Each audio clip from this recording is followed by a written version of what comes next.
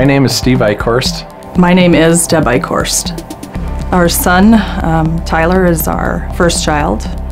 Um, we also have Nancy, um, whom we adopted out of foster care. And she's uh, our oldest.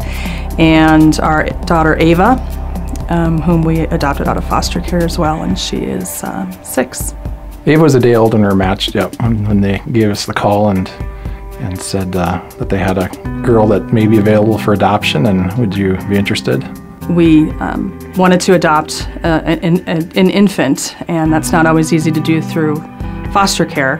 And uh, my husband and I had a conversation about that one time, and he said, "Well, God's really just going to have to drop that one in our lap." And about two months later, we took we got a phone call, and um, literally she was dropped in our lap. So that was an absolute um, dream come true and a desire of the heart.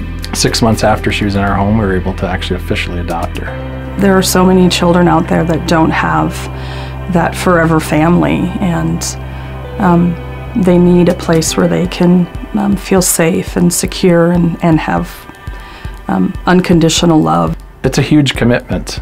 Make sure you're ready for it, pray about it endlessly, and uh, if you come to that point where you feel it's what God has for you, um, act on it. There's a lot of kids out there that need a family. And oftentimes it's just a temporary family if you do foster, but you still can have an impact on their lives. It's been a joy and it's been a challenge, but I, I would do it all again.